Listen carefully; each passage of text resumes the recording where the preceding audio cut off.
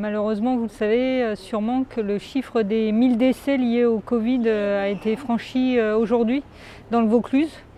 Et donc je voulais qu'on ait tous quand même une pensée pour, ces victimes, pour, pour leurs familles, pour leurs proches.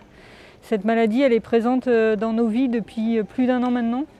Évidemment qu'il y a la vaccination, et tant mieux qu'il y ait la vaccination. Donc moi j'incite vraiment euh, toutes celles et ceux qui euh, aujourd'hui ont accès à cette vaccination à se rendre dans les deux centres de vaccination qui existent sur la commune d'Avignon, à la fois le centre de la Barbière, mais aussi euh, le centre départemental qui est positionné à la salle polyvalente de Montfavet. Aujourd'hui, ces deux centres de vaccination fonctionnent très bien, notamment celui de Montfavet.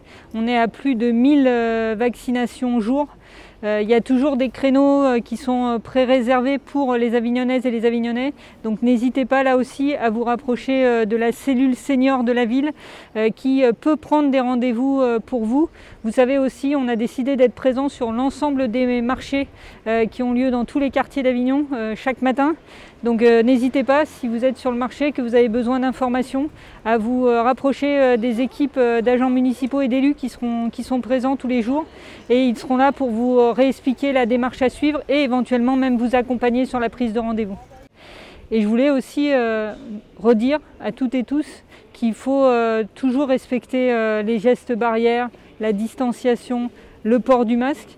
Vous le savez, en fait, c'est de notre autodiscipline à aujourd'hui, de notre responsabilité collective que vont dépendre les prochains jours et notamment euh, la perspective quand même euh, de, cette, euh, de, ce déconfinement phasé qui est annoncé par le gouvernement et notamment surtout, je le redis à, nous toutes et tous aussi parce que je sais que c'est très important pour Avignon et pour les Avignonnais, la perspective du festival été 2021 et d'un festival qui soit réussi et qui nous permette à nouveau eh d'aller à la rencontre des artistes et des acteurs culturels. Ils nous ont beaucoup manqué l'année dernière.